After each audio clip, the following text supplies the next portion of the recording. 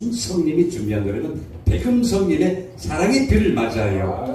마이미지를 짝사랑해 하나봐 두곡 청해 듣겠습니다.